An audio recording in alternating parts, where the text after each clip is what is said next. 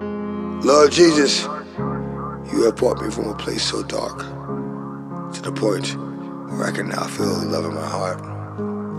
And I know it's just a start, but there's more to come. So now I embrace it when I used to run. Didn't know what I was running from or running towards.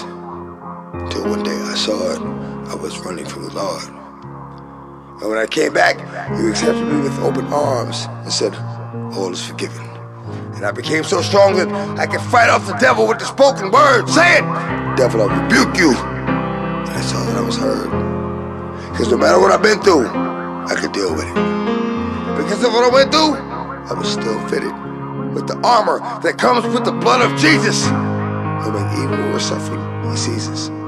But when you're lost, he will leave the flock to find the one, just like any father trying to find his son.